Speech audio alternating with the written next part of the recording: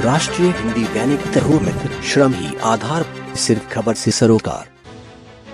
वायुसेना दिवस पर लड़ाकू विमानों ने आसमान में दिखाया भारत का दम। भारत में अब विदेशियों को एंट्री आसान 15 नवंबर से मिलेगा टूरिस्ट वीज़ा। देश में 20,000 के पार कोरोना मामले एक्टिव केस ढाई लाख से नीचे। अरुणाचल में चीन ने की हिमाकत सीमा लांगी तो मुस्तैद भारतीय जवानों ने पीएलए के 200 सैनिकों को खदेड़ा। वायुसेना दिवस के दिन चीफ की बगैर नाम लिए चीन को चेतावनी, बाहरी ताकतों को नहीं करने देंगे हमारी सीमाओं का उल्लंघन।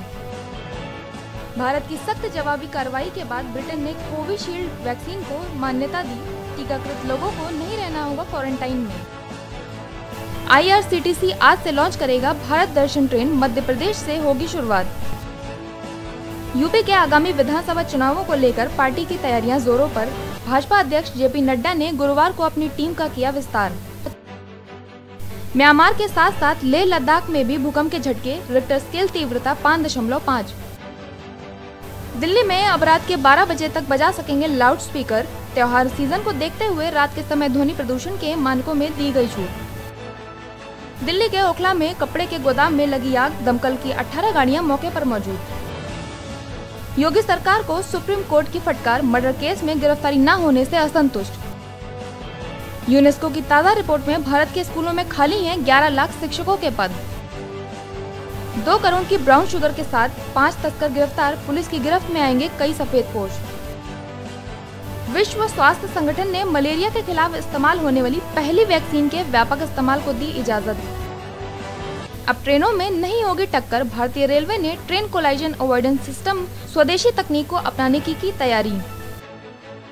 लखीमपुर खीरी हिंसा पर सीएम योगी का बड़ा बयान, बिना सबूत सिर्फ़ आरोप पर किसी की गिरफ्तारी नहीं करेंगे, कानून सबके साथ समान रूप से व्यवहार करेगा। यूपी की शिक्षा को लेकर आपका वादा, पाँच साल में यूपी के सरकारी स्कूल प्राइवेट से बेहतर होंगे।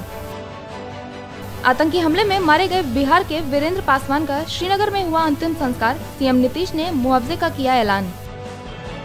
टेनिस, वॉलीबॉल कोर्ट और स्विमिंग पूल समेत दिल्ली में बन रहा है देश का पहला फाइव स्टार स्कूल दिल्ली सरकार ने वैक्सीन को लेकर किया बड़ा ऐलान, कर्मचारियों को कोविड वैक्सीन के बिना ऑफ़िस में नहीं मिलेगी एंट्री।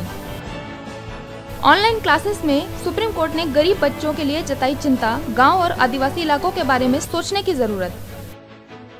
भारत नेपाल के बीच हुआ अहम समझौता प्रमुख शहरों को रेलवे से जोड़ेगा काठमांडू। फाइजर ने 5 से 11 साल के बच्चों को कोविड वैक्सीन की इमरजेंसी इस्तेमाल के लिए एफडीए से मांगी इजाज़त। इंटरनेट के बिना भी जल्द हो सकेगा डिजिटल पेमेंट। भारत में बढ़ रहा है डिजिटल भुगतान।